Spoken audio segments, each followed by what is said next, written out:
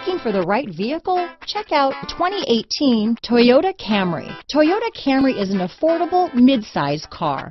Reliable and great comfortable commuter car. This vehicle has less than 45,000 miles.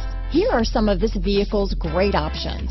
Traction control, dual airbags, alloy wheels, power steering, four-wheel disc brakes, rear window defroster, trip computer, power windows, electronic stability control, security system, remote keyless entry, brake assist, panic alarm, overhead console, tachometer, driver vanity mirror, front reading lamps, front bucket seats, power driver's seat. Your new ride is just a phone call away.